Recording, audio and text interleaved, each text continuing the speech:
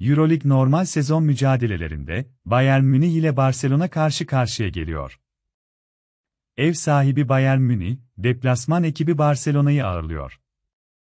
Ev sahibi Bayern Münih Maccabi deplasmanından mağlubiyet ile ayrıldı ve gerçekten çok sıradan bir kadroya sahip.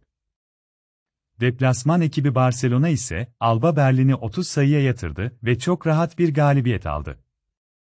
Tabii ki kadro olarak rakibinin çok ama çok önünde Barcelona ve bu maçın da net favorisi.